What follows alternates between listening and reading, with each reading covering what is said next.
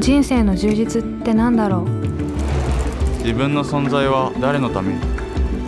目の前の当たり前は誰かの当たり前じゃなく何気ない一日にありがとうを伝えよう。生きるってなんだ？生き方ってなんだ？私は何者？人間ってなんだ？